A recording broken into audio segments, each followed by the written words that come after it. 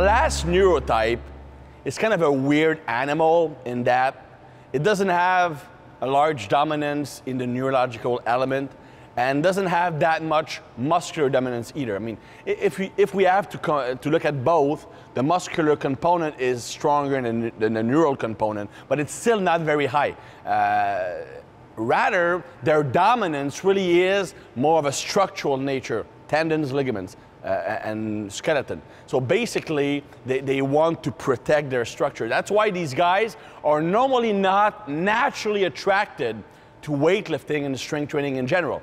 Uh, because th they don't need to feel that their nervous system is stimulated. They don't feel the need to have their muscles stimulated. So really, they will only look for weight training because they think they have to or, or just to feel good. But still, as a coach, you will have to work with these individuals who are more built for endurance activities. Uh, now, uh, the one word that describes that neurotype is control. They need to be in control. Uh, and that is true for training, but also for their life. I'm going to talk a bit about that later. Now, the one sentence that describes them is that building muscle is all about controlling stress. And by extension, also controlling, uh, being in control. Uh, that's because these guys have the highest production of stress and the, the, the least efficient way of dealing with stressors in general. So that's why they tend to be very anxious by nature and worry about everything. Now, because of that, they are also amazingly good planners. They are great at creating plans, structures, and following them to a T to achieve a certain goal. When they have a precise structure to work within, they are comfortable. So that's why, for example, if you're a coach and you have a client that's a type 3, that, then they will respond a lot better if you give them a training plan where they can see the next 6, 8, or even 12 weeks of training in advance. It's even better if you can actually plan the training weights a long time in advance. Uh, because they will be able to mentally prepare for it. And because they, they, they need to be in control, now, knowing when they will be forced to add weight secures them. Now, I mentioned that the key word is control. So that's also true for their life. They, they need to follow a, strict, a, a very strict structure. They need to feel that they are in control of themselves. When I say control, they don't need to control others. They need to feel in control of their own life. So they need no external influences. They need to follow a plan and just boom.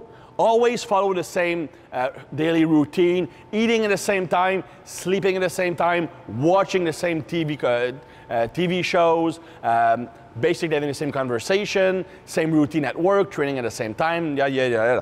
And also from uh, a nutritional perspective, they are those who are at the most risk of becoming, uh, becoming anorectic or having anorectic uh, behaviors in that they might not be pure anorectic, but they will drastically limit their food intake. Why? Because anorexia or an anorectic eating pattern, which is not pure anorexia, it's just a pattern, uh, that is only a matter of control. Probably these people, uh, when they go like that far, like to anorexia, what happened is they had a traumatic event in their life where they felt that they lost control of their body. And they are looking for a way to regain control of it. And food deprivation is a, is a way to show or feel that you are controlling your body. My hunger does not control me, I control it. That's why they're also at risk of becoming uh, like those who are addicted to training like in a bad way. Like they will do like eight hours of cardio every day. And that is the same type of like, it's the same type of behavior as anorexia. It's just controlling the body. My body is telling me to stop. I'm telling my body to continue. That is the same type of behavior. Uh, anyway, I digress. But if you look at that control element and put it into training, uh, they need to feel in control of an exercise, otherwise, it creates anxiety. And if it creates anxiety, all the flexor muscles tighten up. It's a protective, uh, protective reflex that we learn to protect the internal organs. When you feel excessive anxiety, the first reaction is try to protect the internal organs. So the flexors will, will tense up to protect here. But that posture, try to squat that way. It's gonna squat like this. That doesn't work.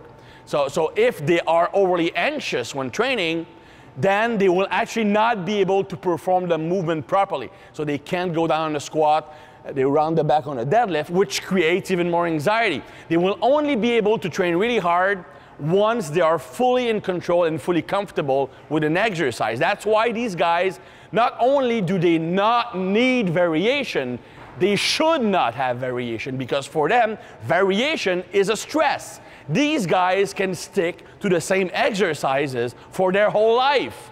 Eventually, you will need to vary the sets, reps, rest intervals, or have techniques like slow tempo or pauses, but sticking to the same big basic lifts for a long time will give them better results because until they are fully comfortable and know that they are in control of the movement, they won't be able to train hard.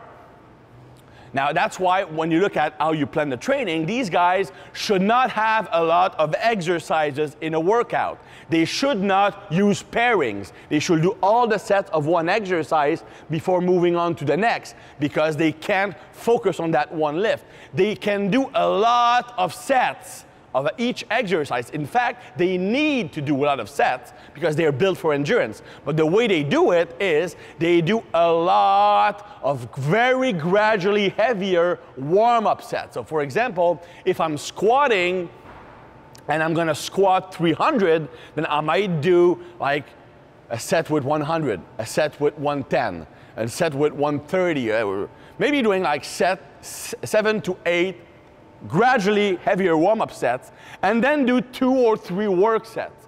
They need to do about twice as much warm-up sets for the big lift as work sets because they won't be able to perform those work sets well until they feel comfortable. And each warm-up sets get, get them more comfortable and more confident in their technique. So few exercises, not a lot of variation. Better to change uh, the training technique than the exercises. So slower tempo, they respond very well to it. Pauses during the lift, they respond well to it because a pause forces them to control the body, control the weight. Uh, also, as a matter of progression, instead of adding weight, you can add pauses, you can reduce the rest intervals, but, but still keep the rest intervals fairly long uh, because they don't want to create too much anxiety. Now, one thing that works really well for them is having like three or four minutes between sets, but between sets, they will actually do mobility work. I normally don't recommend mobility work around training because it actually can, it can hurt performance, but these guys, doing mobility work, even static stretching between sets will enhance their performance because it will decrease their perception of pain and they have an increased perception of pain. So, so that is the general aspect of the training of a type 3. Again, these guys, you won't see a ton of them because they are not naturally attracted to strength training, but when you have them, that's how you should train them.